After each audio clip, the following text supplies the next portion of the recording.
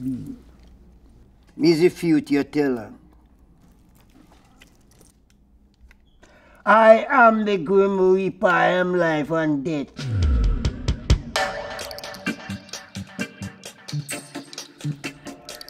And you want an interview?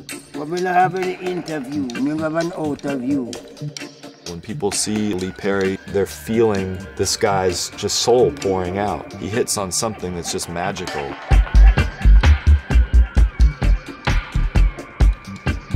Lee Scratch Perry's a magician, he's a madman, he's a music maker, he's one of a kind. There's never going to be one like him again.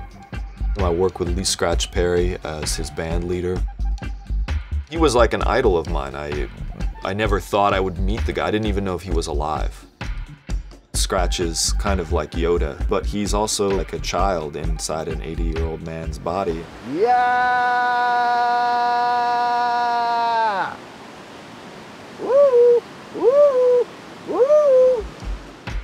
In many ways, I feel like he's underappreciated. He's a guy who has touched so many people.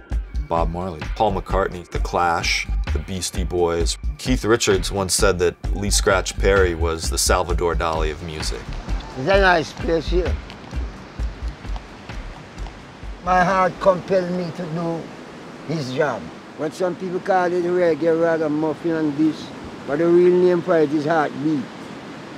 Boof, boof, boof, boof, boof, boof. I what's not it is. Heart, heartbeat. It's amazing to see this guy who's 80 years old, who's just a, this creative force of nature. He's never without a computer. Now he's even said sometimes the computer is part of him. He's constantly reacting to what's around him and processing it, and it comes back out in one way or another.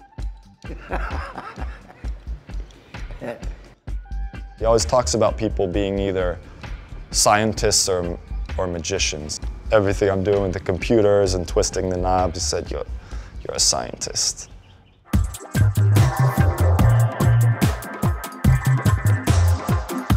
This is actually how I wrote the bass line to this track. Around me is all this gear from decades past, not unlike what Scratch was using back in Jamaica. In the same way, Scratch used the mixing board as an instrument to shape a new form of music, now we're using the computer to shape a new form of musical performance. So it allows us to take all this on tour and take it on stage. We're about to give you the vibes of Mr. Lee Scratch Perry. How, how does everyone feel about that? Does that sound all right?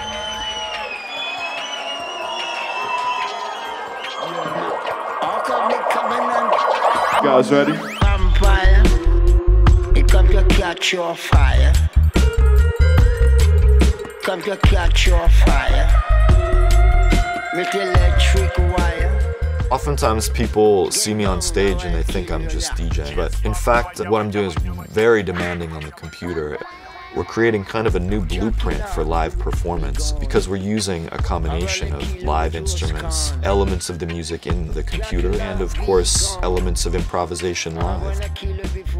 Every night we perform it, it's different.